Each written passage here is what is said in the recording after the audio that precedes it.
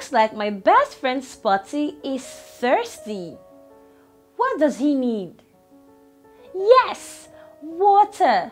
Spotty needs to drink water. We drink water when we are thirsty.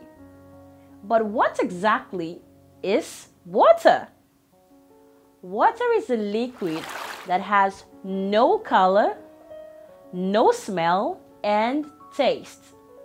Remember, we drink water when we are thirsty, but we also use water for different things as well. We wash our clothes with water. We cook our delicious meals with water. We use water to brush our teeth and take our bath. We water our plants daily. We flush the toilets with water. Our floors are cleaned and mopped with water.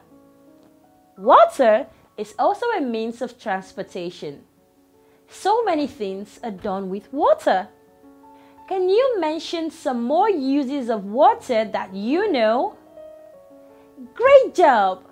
Animals such as fish, turtles, and hippos live in water. We swim in water. Water is also used for some sports like surfing, swimming, kayaking, and many more.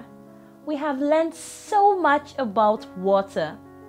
But do we know where water comes from? Find out in my next video. I'm going to see you later.